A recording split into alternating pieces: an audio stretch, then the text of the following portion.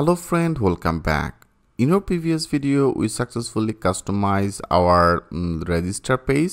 Now in this video, I want to customize our login page as per our theme. Okay, the, like right now there is another theme page as a um, auth login.html.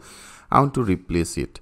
So if you want to replace it, first of all, we have to find out our default one. As I told you, that is in our views and that is our auth and that is our logging okay now the same procedure i want to apply it in here. Simply copy it and then i take it in here because that will be the just like that same. And now in our login blade first of all i want to go to our theme into the theme that is our auth locking. I want to open with the Sublime text editor. I simply copy everything right now from here and now in our locking page. That means in our auth login blade here i want to paste it okay? Or we have to update our um, same things. We have to update that js link. We have to update that css link. So right now that is the same css uh, that i have used in our register. From to the register i want to done to copy it because here i have already updated that asset right? Now there is a link i copy it and now in our logging into the logging page here I want to do to update. Great and also I want to name it as a, a mm, logging admin. Okay. I make it as a logging admin. Right now that will be fine. And that is how I updated all that our CSS I want to copy everything from our register. And from to the register if you go to that um, our all the JS file I simply copy that JS file link. Because I have already updated in particular that position. So now I want to update in our logging into the logging there you can see there is the same javascript. So now i paste it. Great. So here our css and js is updated which is totally fine. And also there are some of the images. The images link if you want to update then that will be the same procedure. I copy it. And here that will be the asset. And asset i paste it. And now i want to, to take it. That is a png i cut it and i paste it and also I cut it and then here I paste it. So right now friend that is actually our form. Right now our form that is static of the form. Now I want to done to update as per our default one. Uh, I have already saved our default one into the default one. You can see that is on the form. I copy it and that is on the route as a locking. CSRF token will be needed. Post will be a method will be as a post method.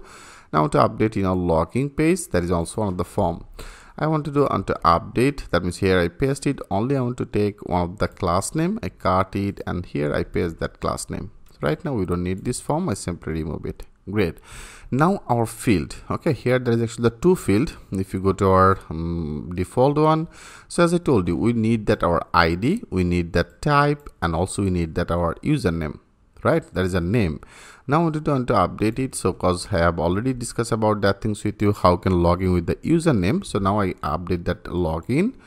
Um, like that is our input field input field type. I make it as a text type which is totally fine. I want to add on the ID ID will be as username and type I have already update and then name will be needed. I copy it and then that will be as a name okay?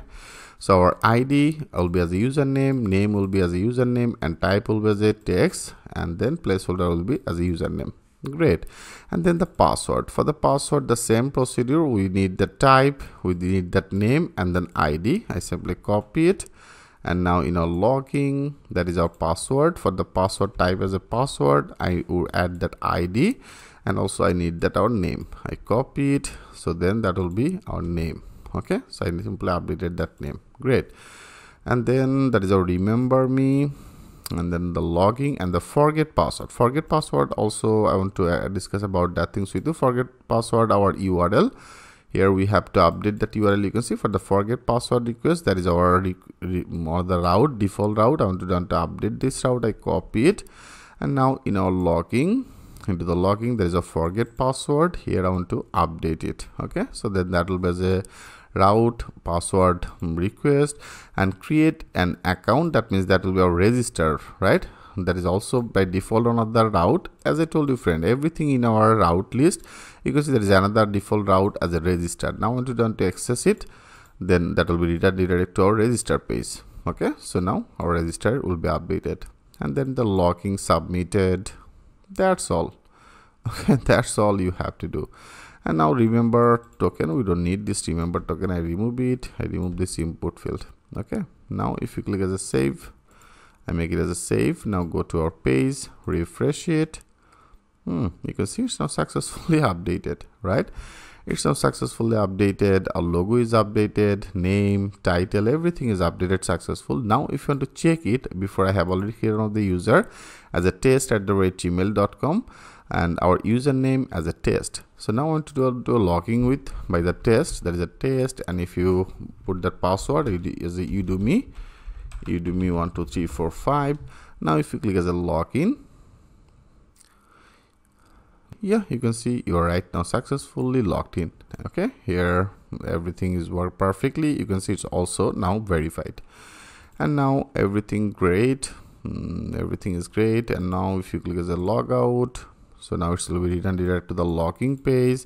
If you create as a create account you can say i have already updated that url as a register. It's successfully returned direct to our register page right? And that is our login page and from here if you, you, you logging with the user and if for the user i name put that password 1 2 3 4 5 6 7 8 now if you click as a login now you are successfully logged in. Great. Okay so friend in our next video i want to discuss about another layout. I hope you get that idea how much easily we actually updated all that our page that default page. There is a forget password page right? So now that is of the another page as a view as a forget password. So you know if you want to change it um, how can change that forget password page? In here there is also another page um, like as a recovery password like that is a recovery password okay? That is a auth and then recovery password.html so that is the theme i want to customize in here. How can do this work? In our next video i will show you that things with a live example. So thanks for watching. I will see you in the next video